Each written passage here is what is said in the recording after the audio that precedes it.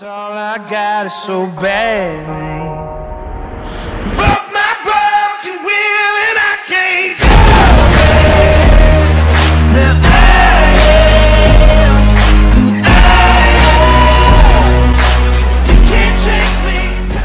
هلا والله. السلام عليكم ورحمة الله وبركاته. كيف حالكم طيبين؟ بخير مبسوطين. رجعنا لكم بمقطع جديد ومقطع Red Dead Redemption 2 زي اللهب طبعا في هذا المقطع راح نتكلم عن حل لغز أصعب مدينتين في Red Dead Redemption 2 بكل بساطة مدينتين لو خشيتها راح يجي في بالك العديد من الأسئلة والعديد من التساؤلات. ليش هذا هنا وليش هذا هناك؟ فتعالوا سويا نخش في المقطع.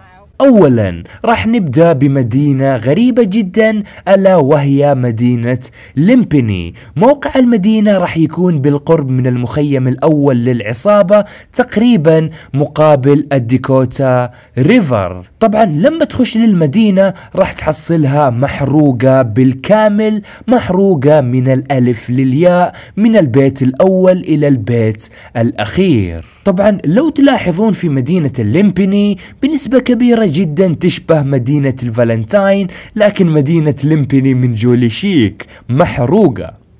طبعا أول مكان قدرت ألاحظه هو حانة المدينة والحانة في حالة جدا جدا سيئة. وأيضا لو تلاحظون يعني أبدا أبدا ما فيها مشروبات أو مجوهرات أو أي شيء فرائحي عكس الحانات الأخرى للمدن جدا جدا مكتظة بالناس والمجوهرات والمشروبات وغيرها. طبعا في المدينة في عدة أماكن تجذب الانتباه لكن في واحد جذب انتباهي بشكل كبير جدا ألا وهو هذا المبنى.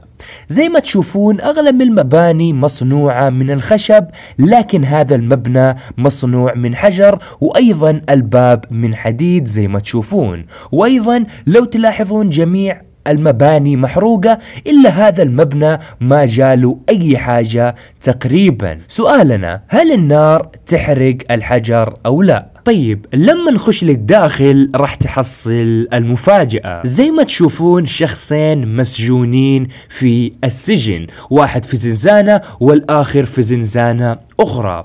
طبعا الأمر الغريب في الموضوع إنه جثثهم غير محروقة إطلاقا رغم إن المدينة كلها انحرقت من الألف للياء فليش هذولا ما انحرقوا؟ طبعا الظاهر إنهم ما انحرقوا لأنه السجن مصنوع من حجر والنار ما تخش عبر الحجر. لذلك حين نشوف جثثهم غير محروقة اطلاقا بينما المدينة بأكملها محروقة. لكن صراحة وضعهم جدا جدا مريب ويخليك تطرح أسئلة كثيرة جدا عن حالهم. ليش هذا الشخص موجود بهذه الطريقة أو ليش موجود في هذا المكان؟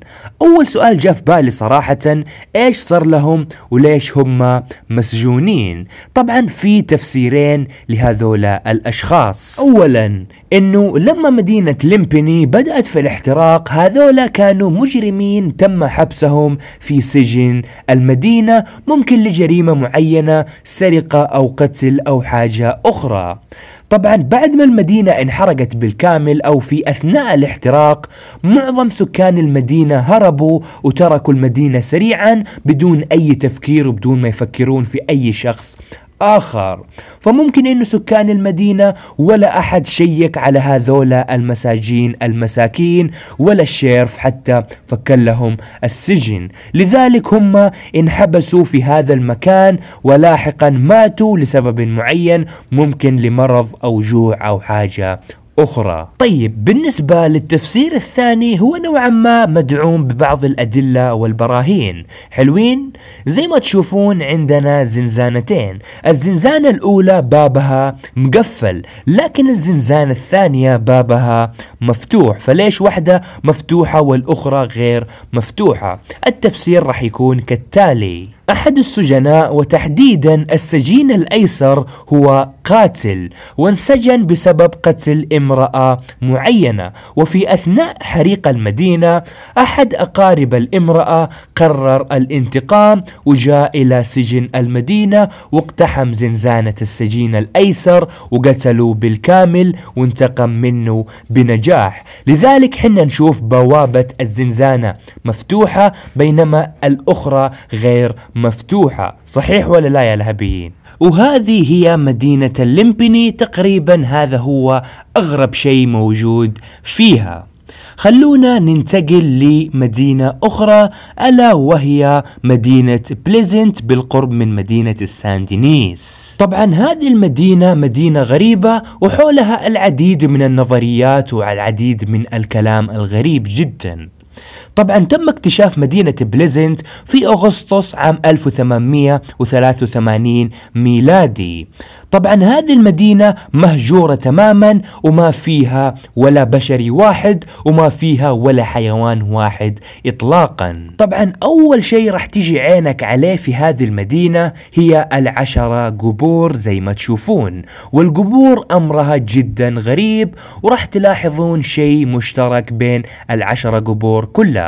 خلونا نقرأ المكتوب على بعض القبور. أول قبر هو لراغنيلد يتمن تم قتلها بطلقة نارية في سبتمبر عام 1883 وهي بعمر الثلاثة وأربعين عام.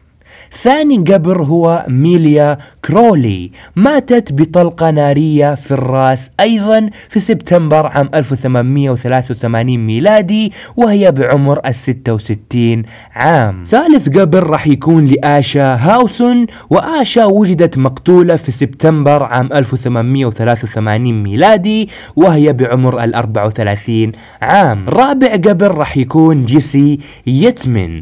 أيضا قتل في سبتمبر عام 1883 ميلادي وهو بعمر ال 14 عام فقط. خامس قبر راح يكون للورا يتمن. أيضا قتلت بالرصاص الناري في سبتمبر عام 1883 وهي بعمر ال 76 عام. سادس قبر راح يكون لإيدمند توبن وولد عام 1854 وقتل طلقا بالرصاص سبتمبر عام 1883 بعمر ال 29 عام. سابع قبر راح يكون لكورتس بينز قتل في سبتمبر عام 1883 بطلقة نارية زي اللهب. ثامن قبر راح يكون جلين يتمن قتلت بسبب جرح قاتل بالسكين. وقتلت في سبتمبر عام 1883 ميلادي وهي بعمر ال 25 عام تقريبا. تاسع قبر راح يكون لدانيال كورلي وأخذت حياته لسبب مجهول عام 1883 ميلادي بعمر ال 25 عام. عاشر قبر راح يكون لميري هاوسون وميري قتلت بسبب جرح جدا عميق بسكين معين وقتلت يوم 17 سبتمبر سبتمبر عام 1883 ميلادي وهي بعمر ال 15 عام فقط. ها لاحظت الشيء المشترك بينهم؟ صح عليك يا معلم.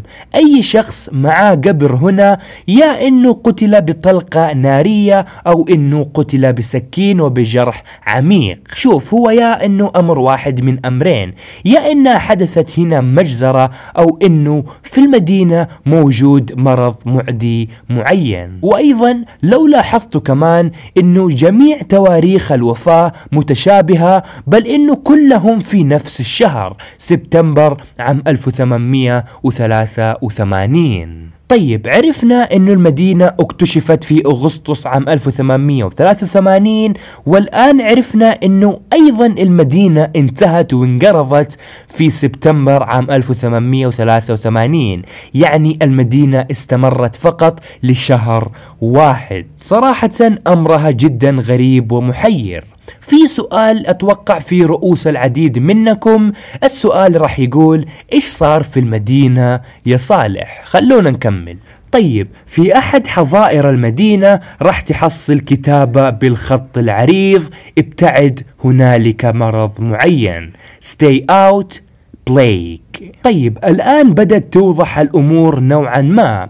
مدينة بليزنت فيها مرض معدي قوي جدا والبعض قال إنه مرض الطاعون. وهذا المرض قتل عدد كبير جدا من سكان المدينة. لذلك حنا نشوف القبور منتشرة بشكل ضخم جدا في المدينة. طيب في تفسيرين لموضوع بليزنت أول تفسير إنه الشرطة والعدالة قررت إنها تحد من انتشار المرض المعدي لذلك قررت إنها تقتل جميع سكان مدينة لمبني من صغيرهم إلى كبيرهم من الألف للياء عشان لا ينتشر المرض أكثر وأكثر وأكثر ويوصل لمدن كبيرة زي ساندينيس ورودز وغيرها وبذلك ينتشر جميع أمريكا. وفعلا الشرطة قتلتهم بالكامل من أولهم لآخرهم. وأيضا الشرطة حبت إنها تقفل على الموضوع وتتكتم على الموضوع بالكامل.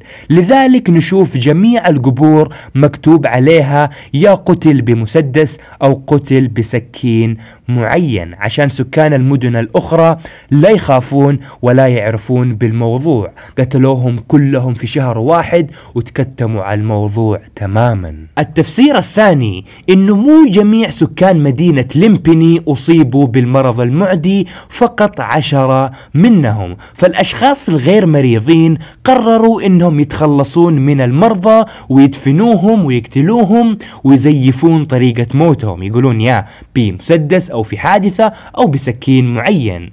طيب ليش يزيفون موتهم يا صالح؟ عشان لما الغير مرضى يروحون للمدن الأخرى وينتقلون لا يتم استبعادهم والتخلص منهم بحجة إنهم مرضى بالطاعون. عرفتوا كيف؟ وهذه هي أقوى تفسيرين لهذه الظاهرة.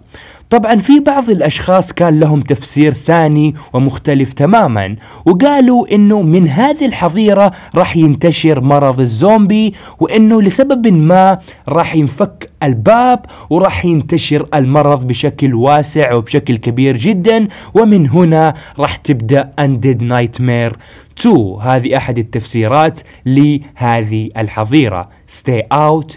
بلايك طيب يا لهبيين شاركوني آراءكم في خانة التعليقات إذا كانت عندكم تفسيرات إضافية أو تفسيرات أخرى وأيضا شاركونا آراءكم أي تفسير تروحون معاه في المدينتين. طيب بكذا وصلنا معاكم لنهاية المقطع. لا تحرمونا من ال like وال subscribe وتعليقاتكم الحلوة. حطوا like ليجيكم هد الآن يدمر لكم الجبهة. يلا سلام عليكم.